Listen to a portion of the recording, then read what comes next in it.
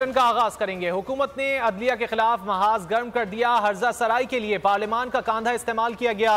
अदालती फैसले के खिलाफ फैसले के खिलाफ करारदाद मंजूर कर ली गई। फैसले को अकलियती और सियासी मामला में मदाखलत करार दिया गया। करारदाद बलूचिस्तान से रुकने असम्बली खालिद मक्सी ने पेश की।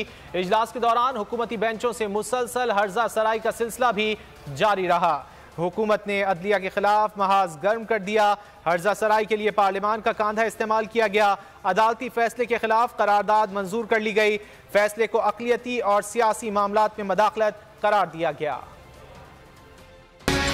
अदलिया के खिलाफ हुकूमत का महाज हर्जा सराई के लिए पार्लियामान का कांदा इस्तेमाल। कौमी असम्बली में सुप्रीम कोर्ट के फैसले के खिलाफ करारदाद मंजूर। अदलिया का फैसला सियासी मामला में बेजा मुदाखलत करार दे दिया गया। करारदाद बलूचिस्तान से रुकन असम्बली खालिद मक्सी ने पेश की।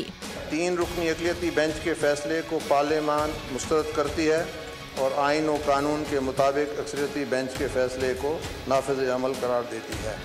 करारदाद में मुबैना अदालती मुदाखलत पर इजहार तशवीश किया गया। मुतालबा किया गया, केस की समात फुल कोर्ट में की जाए। कहा गया, हालिया अकलियती फैसला मुल्क में सियासी अदम इसकाम पैदा कर रहा है। वफाकी इकाइयों में तकसीम की राह हमवार कर दी गई है। ऐवान एक ही वक्त पर आम इंतबात को मसाइल का हल समझता है।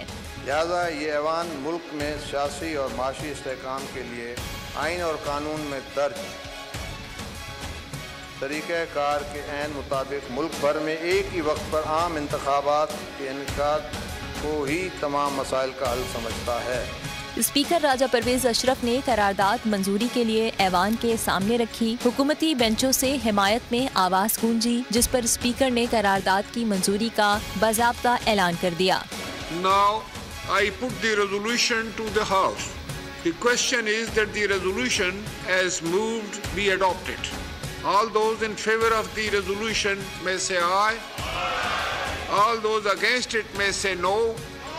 I think the ayes have it and consequently the resolution is adopted.